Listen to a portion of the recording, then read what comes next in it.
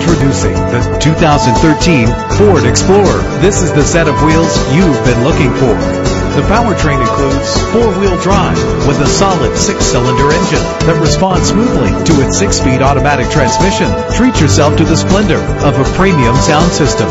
Brake safely with the anti-lock braking system. And memory settings are one of the many features. And with these notable features, you won't want to miss out on the opportunity to own this amazing ride. Leather seats, power door locks, power windows, cruise control, Bluetooth and AM/FM stereo with a CD player, a satellite radio.